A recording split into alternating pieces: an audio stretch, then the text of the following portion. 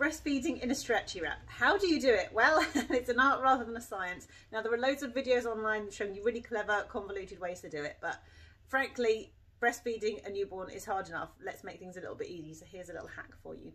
What I suggest you do if possible is get your baby to latch on first. You can do this afterwards if you want to. And once they're in position, all you do is slide your hand in here, take the, the sort of the middle layer of your stretchy wrap and lift it over your baby's bum. Now this isn't going to give you both hands free, but it should give you one hand free for tea drinking and biscuit eating and whatever else you need to do.